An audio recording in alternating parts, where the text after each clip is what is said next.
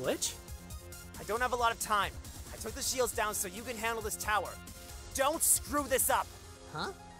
Wait, so do you know about N? Ugh, that's none of your business! Do it! I mean it! You mess this up, I'll hunt you down! Good seeing you again, too. Let's go, Chris.